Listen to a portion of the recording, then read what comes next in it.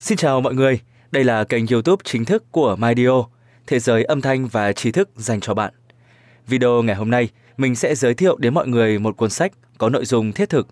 Thông qua đó, các bạn sẽ có được những lời khuyên hữu ích để sống và làm việc có mục đích hơn và hiệu quả hơn. Và đoạn trích sau chính là một phần đoạn rất sâu sắc mà mình muốn mọi người cùng biết đến và cảm nhận. Hãy cùng lắng nghe với mình nhé!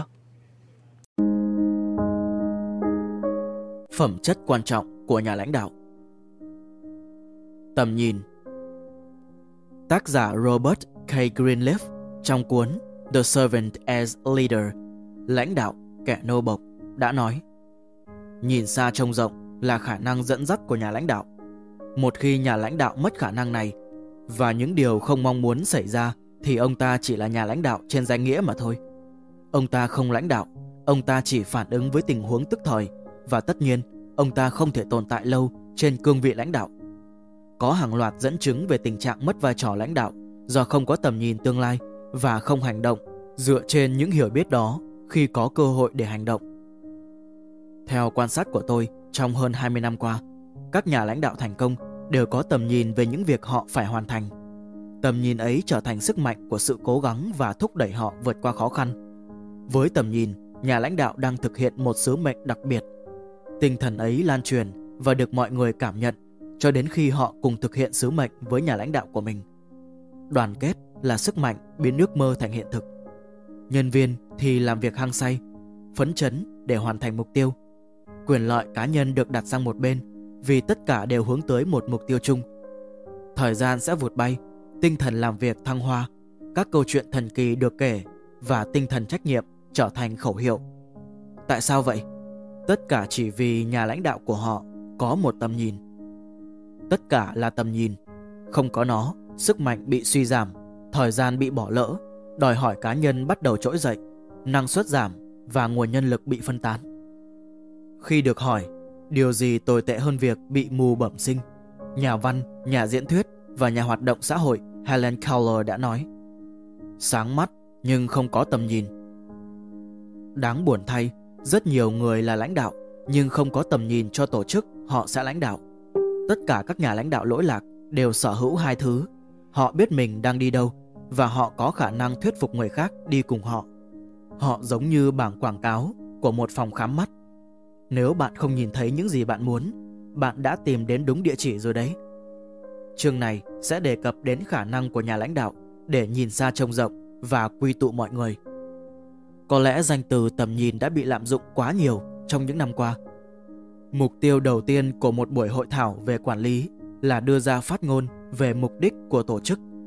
Mọi người sẽ nhìn bạn giống như người ngoài hành tinh nếu bạn không thể nhớ được mục đích tồn tại của tổ chức mình và in nó trên một tấm danh thiếp. Tại sao bạn phải chịu đựng tất cả áp lực này để đưa ra mục đích tồn tại cho tổ chức của mình? Có hai lý do. Tầm nhìn là nét đặc trưng, tiếng nói chung của tổ chức. Đó là thông điệp rõ ràng gửi đến thị trường cạnh tranh rằng bạn có tiếng nói riêng giữa muôn vàn lời mời chào khách hàng. Và đó chính là lý do để bạn tồn tại. Thứ hai, tầm nhìn trở thành công cụ kiểm soát. Nó thay thế cho bản hướng dẫn với hàng nghìn trang giấy được đóng khung và hạn chế sự sáng tạo. Trong một kỷ nguyên, khi sự phân quyền ở cấp thấp nhất là điều kiện tồn tại, thì tầm nhìn là chìa khóa giữ cho mọi người tập trung vào mục tiêu. Những phát ngôn về tầm nhìn Những gì bạn nhìn thấy là điều bạn có thể đạt được. Phần này đề cập đến tiềm năng của bạn. Tôi luôn tự hỏi, tầm nhìn tạo nên nhà lãnh đạo hay nhà lãnh đạo tạo nên tầm nhìn? Và tôi tin rằng tầm nhìn là cái có trước. Nhiều nhà lãnh đạo đánh mất tầm nhìn và cuối cùng cũng đánh mất luôn khả năng lãnh đạo của mình. Mọi người thường làm theo những gì họ nhìn thấy. Đây là nguyên tắc tạo động lực hiệu quả nhất. Theo nghiên cứu của Học viện Stanford Research, 89% những điều chúng ta học được thông qua thị giác, 10% thông qua thính giác và chỉ có 1% thông qua các giác quan khác. Nói cách khác, con người phát triển nhờ sự kích thích thông qua thị giác. Một tầm nhìn cộng với một nhà lãnh đạo sẽ sẵn sàng biến giấc mơ thành hiện thực. Mọi người không đi theo giấc mơ, nhưng họ đi theo một nhà lãnh đạo có giấc mơ và có khả năng truyền đạt rõ ràng giấc mơ ấy.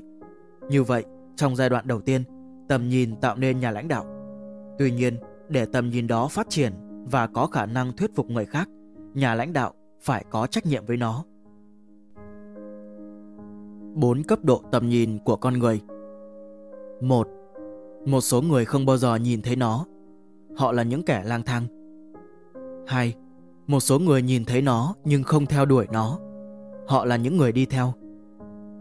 3. Một số người nhìn thấy nó và theo đuổi nó. Họ là những người thành đạt. 4. Một số người nhìn thấy nó, theo đuổi nó và giúp người khác cũng nhìn thấy nó. Họ là những nhà lãnh đạo. Herbert H. Humphrey là điển hình của những gì bạn nhìn thấy là điều bạn có thể đạt được. Trong một chuyến đi tới Washington DC năm 1935, ông đã viết thư cho vợ.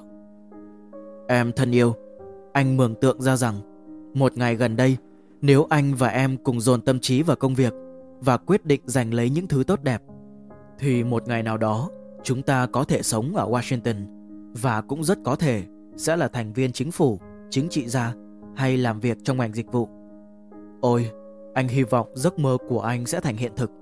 Anh sẽ làm tất cả để thực hiện nó. Bạn nhìn thấy điều bạn sẵn sàng nhìn thấy. Phần này đề cập đến nhận thức. Corrad Adonier đã đúng khi nói Chúng ta cùng sống chung dưới một bầu trời, nhưng chúng ta không có chung một chân trời. Nhà sản xuất ô tô thiên tài Henry Ford đã lên kế hoạch có tính đột phá về một kiểu động cơ mới. Đó chính là loại động cơ V8 ngày nay.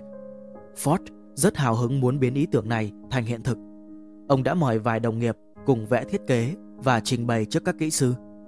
Các kỹ sư nghiên cứu bản thiết kế và đều có chung một kết luận. Nhà lãnh đạo hão huyền của họ ít hiểu biết về các nguyên lý kỹ thuật cơ bản. Họ sẽ nhắc khéo rằng ý tưởng của ông khó trở thành hiện thực. Ford nói, hãy sản xuất nó bằng mọi giá. Họ liền trả lời, điều đó không thể thực hiện được. Hãy thực hiện đi. Ford ra lệnh. Hãy thực hiện điều đó cho đến khi thành công, dù phải mất bao nhiêu thời gian đi chăng nữa. Họ phải đánh vật với vô số bản vẽ thiết kế trong suốt 6 tháng. Không có gì xảy ra. 6 tháng tiếp theo cũng không có gì biến chuyển. Gần cuối năm, Ford đến kiểm tra, nghiệm thu kết quả. Và một lần nữa, các kỹ sư nói với ông, những điều ông muốn không thể thực hiện được. Ford nói với họ cứ tiếp tục công việc. Họ lại tiếp tục. Và cuối cùng, họ đã khám phá ra cách chế tạo động cơ V8. Henry Ford và các kỹ sư của ông đều sống chung dưới một bầu trời, nhưng họ lại không có chung một chân trời. Trong cuốn A Savior for All Seasons, vị cứu tinh cho mọi mùa, William Brecker đã kể chuyện về một giám mục, đạo tin lành ở East Coast, đến thăm một trường đại học ở Miss Weston. Ông ở lại nhà của hiệu trưởng, đồng thời là giáo sư dạy hóa học và vật lý. Sau bữa tối, vị giám mục tuyên bố rằng thiên niên kỷ mới không còn xa nữa, bởi tất cả mọi thứ trong thế giới tự nhiên đã được khám phá và rất nhiều thứ được sáng chế. Thầy hiệu trưởng trẻ tỏ vẻ không đồng tình một cách lịch thiệp và nói rằng ông vẫn cảm thấy có nhiều thứ sẽ được khám phá. Vị giám mục bị chọc tức đã thách thức thầy hiệu trưởng trẻ phải kể tên một phát minh như thế. Thầy hiệu trưởng ôn tồn nói, Tôi chắc chắn trong khoảng 50 năm nữa, con người có thể bay được. Thật điên rồ. Vị giám mục lắp bắp. Chỉ có thiên thần mới có thể bay được mà thôi. Vị giám mục đó là Wright, và ông có hai người con trai. Những người có một tầm nhìn vĩ đại hơn cha của họ. Tên của họ là O'Vily và Weber. Họ và cha cùng chung sống dưới một bầu trời, nhưng lại không có chung một chân trời. Tại sao lại nói như vậy? Tại sao hai người cùng sống ở một địa điểm, trong cùng một thời gian, nhưng lại nhìn thấy những thứ hoàn toàn khác nhau? Câu trả lời rất đơn giản. Chúng ta nhìn thấy những điều chúng ta sẵn sàng nhìn thấy mà không phải thứ nào khác. Các nhà lãnh đạo thành công hiểu rất rõ về mọi người và tự đặt ba câu hỏi. Mọi người nhìn thấy gì? Tại sao họ lại nhìn thấy nó? Tôi có thể thay đổi nhận thức của họ bằng cách nào? Và đoạn trích vừa rồi chính là một phần trong nội dung cuốn sách đang được phân phối audio tại MyDio. Nếu bạn có hứng thú với cuốn sách, mời bạn tìm nghe chọn bộ nội dung tại mydio.vn. Nếu mọi người thấy hay thì hãy cho MyDio một subscribe để mình giới thiệu đến mọi người thêm nhiều cuốn sách hay hơn nữa nhé. Cảm ơn các bạn đã dành thời gian lắng nghe. Chúc các bạn có một ngày mới vui vẻ và tràn đầy năng lượng.